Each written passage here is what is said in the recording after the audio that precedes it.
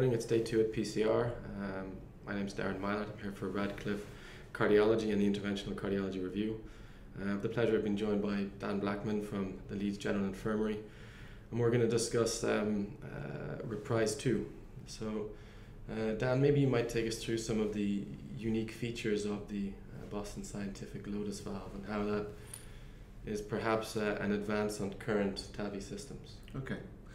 I think there are two, I mean, I would pinpoint two key elements which were weaknesses in first generation systems. One, well documented, being the instance of paravalvular leak with moderate grade 2 paravalvular leak being seen with both first generation devices in something around 15% of cases, maybe higher than that in some of the studies, particularly partner 2. Um, so the paravalvular leak issue is one that clearly needed addressing by second generation devices. I think the second one is the uh, unpredictability seen with both first generation devices. I think with, with CoreValve, as an experienced Core Valve operator, we know that it, it, we can't exactly put the valve every time where we want it to be. Um, there's some unpredictability with Sapien. It's the issue is more around having one shot to put it in the right place. Slightly changed with this slower deployment technique, but still an issue. And I think that it's those two areas which the Lotus valve particularly delivers um, genuine advance. So in terms of control of the deployment, the valve is extremely stable. Um, it will it, it will it will not be moving around during the deployment. You can take a lot of time if you want to, and you can pre very precisely position the valve. Usually, in fact, your first position will, will, will be good because of the ability to take time and the stability of the valve. But you can fine tune the positioning throughout the procedure, put the valve exactly where you want it to be and then you can assess. And if you're not happy with, with, with where it is for any, any particular reason in relation to the coronaries or if there is heavy calcification causing paravalvular leak, you can put the valve somewhere slightly different um, and, and achieve an optimal result every time. In terms of paravalvular leak, it's, it's in my experience at least, and from the data, I think is, is almost a non-issue. Um, and I think that must be attributable to the adaptive seal on the lower half of the frame sealing those, uh, the, the, those gaps where there's frame malapposition due to calcification and preventing a paravalvular leak.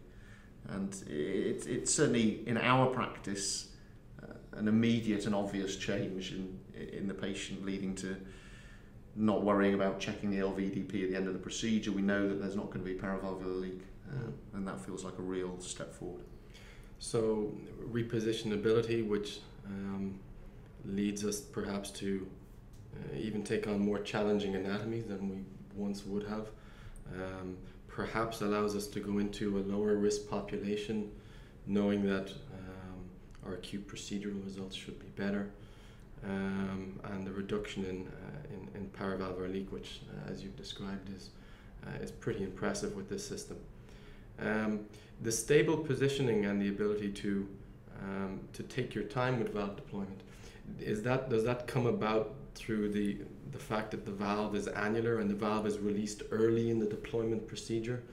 Um, for the CoreValve, for example, when we're halfway through the procedure and the valve starts to flare, the patient can become hemodynamically unstable because the valve acts as a parachute. That doesn't seem to happen with the, no. with the Lotus valve. No, I mean, uh, that, you, you're quite right. It's, it's because the valve starts to function early. So, in the majority of cases, there will be no hypotension during the procedure. Um, but it's not invariable. There will be some cases, uh, perhaps particularly in patients who are already hemodynamically fragile, where you may see some minor drop in blood pressure. But in the majority of patients, as you work step by step through the procedure, you will not see any fall in blood pressure. Okay. Um, if you do see a fall in blood pressure in those rare cases, what the valve allows you to do is to put that valve in um, to close to full deployment, get the valve working, allow the patient to rest, assess the position, and fine tune the positioning at that point if you want. So, in general, you can take time, and I think what we see from the Lotus is by taking time over the procedure, you make the procedure quicker because you're not having to reposition the valve, sure. you're not having to post dilate the valve, you're not having to put a second valve in. So it's a it's a it's a procedure which uh, rewards a kind of a, a careful and stepwise process, um, okay. and you follow those steps and you will get a good result. Okay. Um, one of the other things perhaps to, to discuss um, in relation to this system um, are pacemaker rates. 28% um, pacemaker rates in Reprise 2, um, not dramatic. Um, uh, little evidence, if any, to suggest that the addition of a pacemaker compromises long term uh, outcomes in patients, but um, what's your feel in terms of that pacemaker rate with, with this valve? Is it a relation to uh, the the radial strength of the valve, how low the valve is positioned, um, or is it is it something else? Yeah, I mean it's a very interesting question. I think it, it, it, it we have to observe that not only was the pacemaker rate 28%, but in almost all those cases, pacemaker implantation was for high grade block. Like with a lot of the systems, in the six month follow up data being presented at this meeting, we see that only 50% of the patients are using the pacemaker um, at follow-up. The other half have recovered AV conduction and are needing the pacemaker, which I think is an important observation. Um, in terms of the mechanism, the controlled mechanical expansion of the lotus valve does uh, impart a greater radial force on the surrounding anatomy. So I'm sure that is the mechanism. It may partly relate also to the denser uh, braid, the denser mesh of the cells of the um, lotus valve. What we've looked um, as Reprise 2 investigators at what the predictors of permanent pacemaker implantation were, and that, that, that work was presented at TCT last year. The biggest predictor, in fact, was over, uh, was over expansion of the surrounding anatomy. So as you know, currently there are two sizes of lotus valve available, 23 and 27, um, which were used to treat patients across an annulus range of 20 to 27 um, with inevitably some pushing of those boundaries by the investigators.